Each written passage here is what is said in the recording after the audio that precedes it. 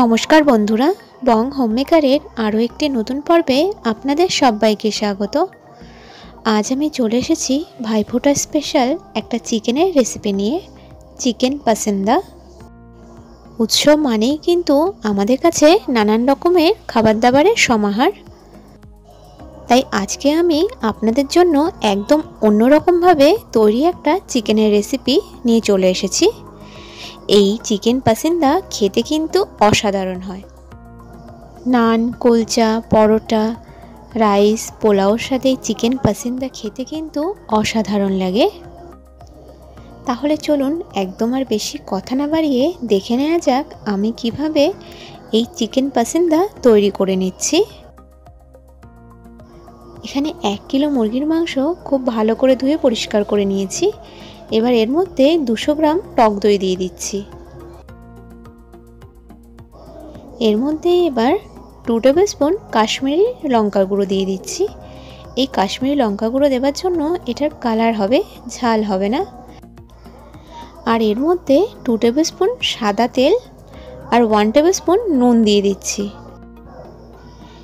এবার আমরা এই দই, কাশ্মীরি লঙ্কার গুঁড়ো, তেল আর নুন দিয়ে চিকেনটা খুব ভালো করে মেখে নেব।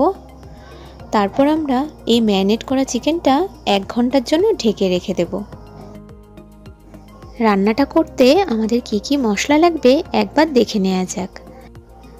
এখানে আমরা গোটা ধনে, জিরে, শুকনো লঙ্কা, তেজপাতা, গোটা গোলমরিচ, পোস্ত, দারচিনি, লবঙ্গ, ছোট এলাচ, বড় এলাচ, জয়ত্রী সাজিরে, কাজু, কিশমিশ আর আমার নিয়েছি। এবার একটা কড়াই গরম করে নিয়ে এর মধ্যে টু টেবিল স্পুন সাদা তেল দিয়ে দিচ্ছি।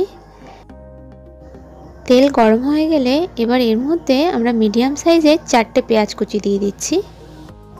এবার এর মধ্যে উনিশ কুড়িটা রসুন কোয়া আর দু ইঞ্চ টুকরের আদা দিয়ে দিচ্ছি।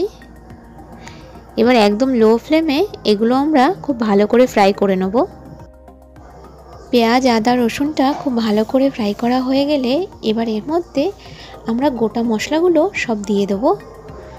তারপর লো ফ্লেমে আরও দশ মিনিটের জন্য আমরা এগুলোকে ফ্রাই করে নিচ্ছি।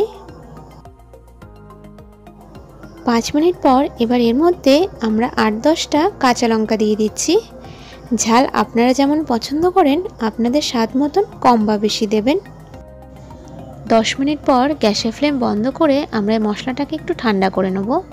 মশলাটা ঠান্ডা হয়ে গেলে একটা মিক্সিং গ্রাইন্ডার জারে দিয়ে দেবো আর কিশমিশটা দিয়ে দেবো। এবার সামান্য একটু জল দিয়ে আমরা এই মশলার একটা স্মুথ পেস্ট তৈরি করে নেব। কড়াইটা ধুয়ে পরিষ্কার করে গরম করে নিয়েছি। এবার এর মধ্যে টু টেবিল স্পুন সাদা তেল আর ওয়ান টেবিল স্পুন ঘি দিয়ে দিচ্ছি। তেল আর ঘিটা গরম হয়ে গেলে এবার এর মধ্যে একটা তেজপাতা আর পেস্ট করে রাখা মশলাটা আমরা দিয়ে দেবো। এবার লো টু মিডিয়াম ফ্লেমে আমরা এই মশলাটা খুব ভালো করে কষিয়ে নেব। মশলা থেকে যখন তেল ছাড়বে, তখন এর মধ্যে ম্যারিনেট করে রাখা আমরা চিকেনটা দিয়ে দেবো।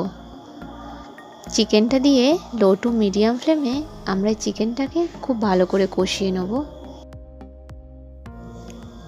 গ্যাসের ফ্লেম মিডিয়ামে রেখে আমরা পঁচিশ তিরিশ মিনিটের জন্য এই চিকেনটা খুব ভালো করে কষিয়ে নেব।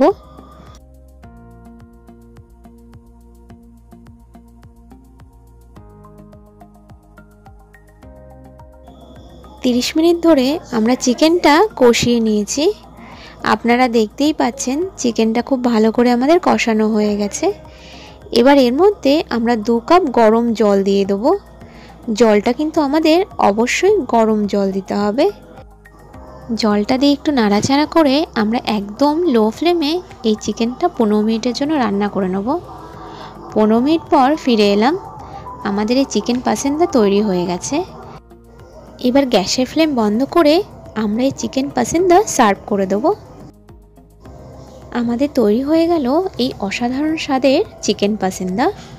এইবার ভাইফোঁটার দিন, তাহলে কিন্তু আপনারা এইরকমভাবে এই চিকেন পাসেন্দা তৈরি করে নেবেন। নান, কুলচা, পরোটা, রাইস, পোলাওর সাথে এই চিকেন পাসেন্দা খেতে অসাধারণ লাগে।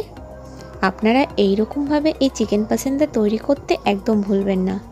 আর নিচে কমেন্ট বক্সে জানাতেও ভুলবেন না কেমন লাগল আমার আজকের তৈরি এই চিকেন পাসেন্দার রেসিপিটি আমার আজকের এই রেসিপিটি যদি আপনাদের ভালো লেগে থাকে, তাহলে লাইক শেয়ার আর আমার চ্যানেল সাবস্ক্রাইব করে আমাকে এগিয়ে যেতে সাহায্য করবেন। ধন্যবাদ।